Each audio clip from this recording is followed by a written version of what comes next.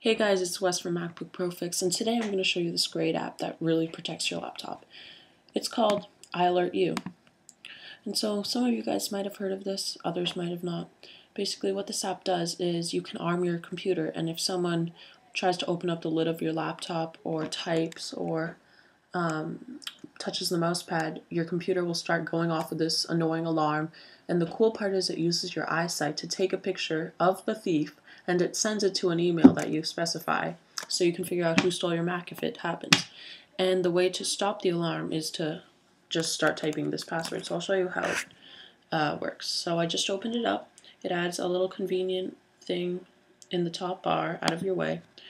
You can do ARM system and enter your password and it makes that little noise. And so now if I move the uh, mouse. That's loud. It forces the loudest volume. I have earplugs plugged in so you can hear it. So I typed in my password and it stopped.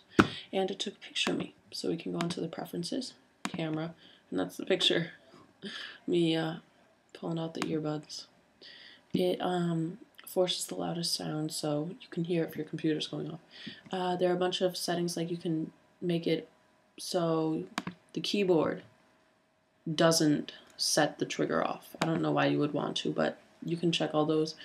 Um, you can edit the password, use the logo for the lock screen, and this is where you specify the email. So if it catches you, it will send a picture. And uh, that's about it. And you can do all that cool stuff too. Thanks for watching, you guys, and have a good one. Peace.